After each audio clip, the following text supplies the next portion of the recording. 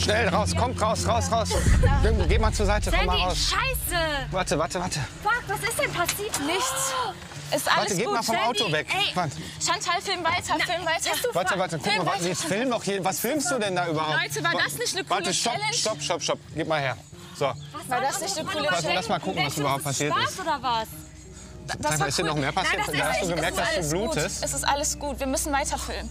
Wir müssen weiter Wieso müssen wir... Ach, guck mal, das ist ja Wir immer... müssen nicht weiterfilmen. Doch. Was denken die denn Chantal, wir müssen Denken die, sowas weiterfilmen. ist cool? Ja. Was tut So ihr denn weh? cool. Was, was habt ihr denn wie jetzt... du aussiehst. Sag mal eben leise, ich, ich möchte was wissen. Was habt ihr denn äh, jetzt hier überhaupt gemacht? Gar nichts. Wir haben gar nichts. Das sieht aber nicht nach gar nichts aus. Ich habe dich jetzt vorgefunden hier im Auto. Du blutest, hast eine Augen. Hat das was mit dieser Internet-Challenge zu tun Nein, etwa? nein. Mit der Augenbinde? Nein, auf Pass auf, keinen ich, Fall. halt mal dein Handy, ich ruf mal eben Krankenwagen. Sozialarbeiter Johannes Tondera hat in den letzten Wochen im Jugendzentrum vermehrt von einer Challenge gehört, bei der sich Jugendliche mit verbundenen Augen in große Gefahr bringen und dies filmen.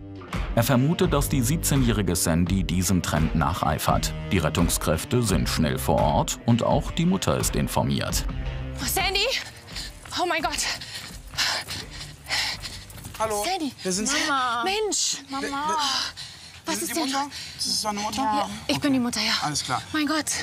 Sandy ist zum Glück mit dem Schrecken und einer Platzwunde davongekommen. Mutter Jana ist verzweifelt, denn ihre Teenie-Tochter macht in letzter Zeit vermehrt waghalsige Videos von sich. Dieses Mal hat sie sich damit das erste Mal in Lebensgefahr gebracht und zudem noch eine Straftat begangen.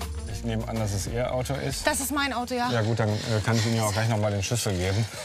Den habe ich nämlich abgezogen. Vielen Dank. Ähm, ja, erklären kann ich es mir nur nicht so richtig. Ne? Aber die beiden wollen auch mit der Sprache nicht so richtig raus. Vielleicht haben Sie eine Idee.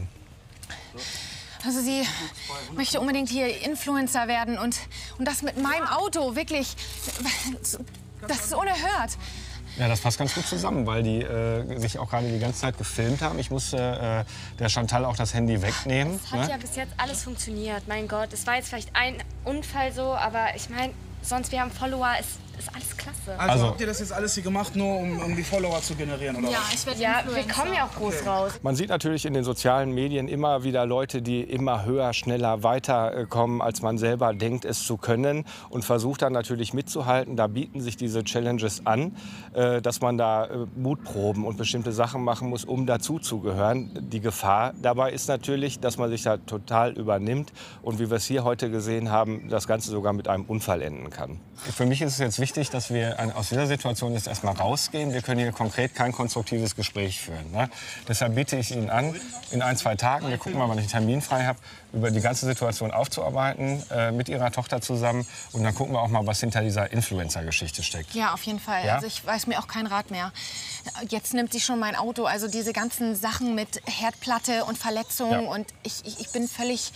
Okay, jetzt gehen Sie erstmal zu Ihrer Tochter. Wir machen Termin. Euch das Ganze, das wird natürlich von der Polizei aufgenommen. Die sind jetzt auch auf, jeden Fall auf dem Weg. Ja. Äh, bist du hier jetzt? Ja. Okay, dann, ähm, falls Sie irgendwie reinkommen sollen. Ja, ja, klar, Wir sind ja ich sagen. vier RTW 1, falls Sie noch mal irgendwie eine Rücksprache haben wollen. Ne, können Sie sich Okay, melden. Alles klar. sag ich Bescheid. Danke, ne? Ja, tschüssi. Ciao. Zwei Tage später ist Familienhelfer Johannes Tondera erneut mit Mutter und Tochter verabredet. Doch Sandy ist nach der Schule nicht wie vereinbart nach Hause gekommen. Über die sozialen Medien bringen die beiden in Erfahrung, dass die 17-Jährige im Park ist und bereits die nächste halsbrecherische Mutprobe vorbereitet.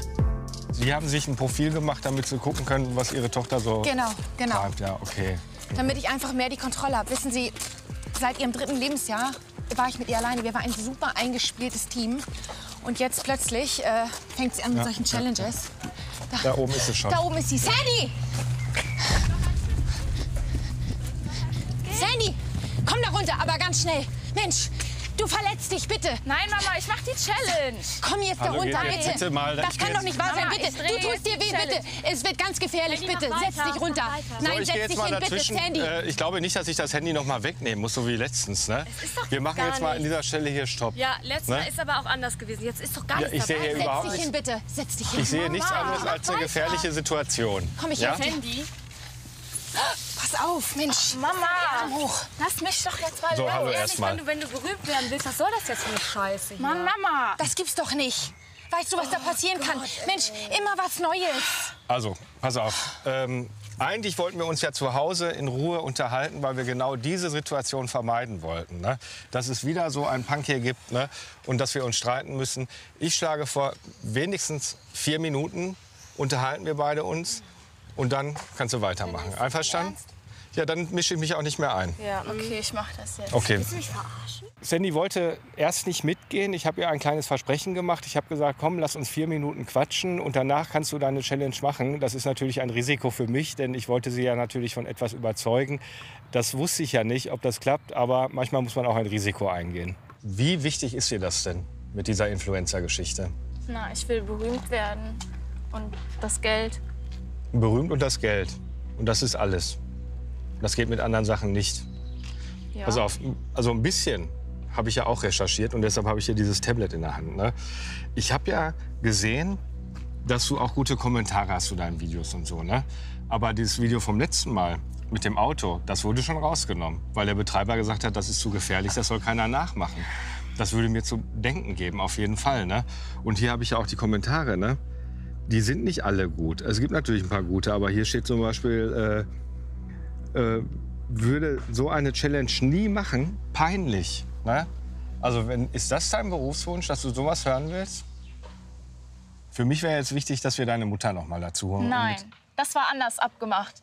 Das möchte ich nicht. Sandy, Mama, nein! bitte. Also ich konnte ja sowohl bei dieser Geschichte mit dem Unfall als auch äh, jetzt äh, hier an dieser Halfpipe sehen, dass die Mutter doch sehr, sehr besorgt ist und äh, sie beschützen will. Das war immer wieder zu hören.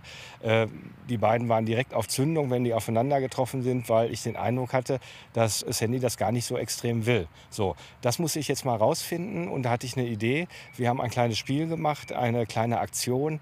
Es gab hier eine Slackline und ich habe gefragt, ob wir die benutzen dürfen. Und ähm, die Sandy sollte mal balancieren, aber mit Hilfe ihrer Mutter, quasi als Zusammenarbeit. So, ja, du verbindest dir jetzt die Augen. Oder vielleicht erst, wenn du drauf stehst. Ne? Und die Mama hält dich fest. Da Sei muss man sich vorsichtig, sei vorsichtig, sei vorsichtig, bitte. Vorsicht. Moment. Mann. Sandy, Oh Mann, Mama, Vorsicht. ich muss mich... oh mein Gott. Oh, oh. Mensch, Mann, Mama, was soll das? Du Ist alles- musst mich einfach mal in Ruhe lassen. Wegen dir bin ich gefallen, weil du immer so aufpasst.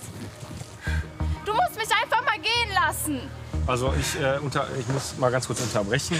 Ich habe jetzt Folgendes beobachtet. Erstmal, dass du gefallen bist. Geht's dir gut? Okay.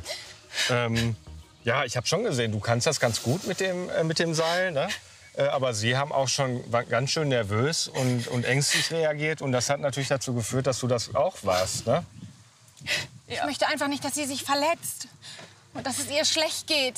Mir geht's aber nicht schlecht, Mama. Wie kommen sie denn da drauf?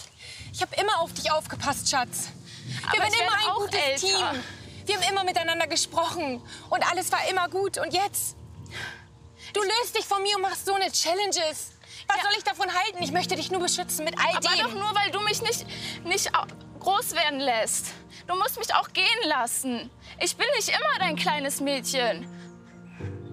Also, ich fasse das mal zusammen. Ähm, Sie haben, sind sehr lange alleinerziehend, das haben Sie mir auch erzählt. Ne? Ähm, und du hast dich wahrscheinlich auch immer äh, beschützt gefühlt, aber irgendwann ist man ja auch in dem Alter, und du bist 17 Jahre alt, ne?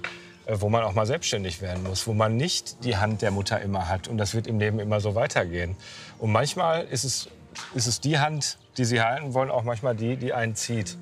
Und das hast du gerade gemerkt. Und das muss man sich, glaube ich, vor Augen halten. Ne? Also ich bin mir sicher, dass Sie das nicht böse meinen. Aber Sie müssen einfach loslassen können in Zukunft. Ich möchte einfach ihre haltende Hand sein. Das kann man ja. Aber die Hand, die hält, darf nicht ziehen. Und das ist das Problem. Ne? Können wir uns vielleicht darauf einigen, dass, wir, dass Sie in Zukunft ein bisschen weniger ziehen, aber du ein bisschen weniger Risiko eingehst, um das zu kompensieren? Ich wusste nicht, dass du dich so fühlst, Schatz. Wirklich nicht. Ja. Es tut mir leid, dass ich dich immer so eingeengt habe und immer versucht habe, alles irgendwie zu kontrollieren. Es tut mir wirklich leid. Also ich würde vorschlagen, äh, nachdem wir das jetzt hier erlebt haben, äh, haben wir das Problem zwar angesprochen, aber noch nicht gelöst. Äh, Ich würde vorschlagen, dass wir uns tatsächlich noch ein, zwei Mal treffen und dass wir mal gucken, wie es weitergeht, dass sich jeder wohlfühlt in der Situation und äh, dass es in Zukunft echt ein bisschen einfacher ist für beide. Weil für sie ist es natürlich auch schwer. Ja. Ja. Okay. Mutter Jana hat eingesehen, dass sie ihre Tochter nicht vor allem beschützen kann und sie Sandy ihren Weg gehen lassen muss. Die Gesamtschülerin veranstaltet seitdem keine gefährlichen Challenges mehr.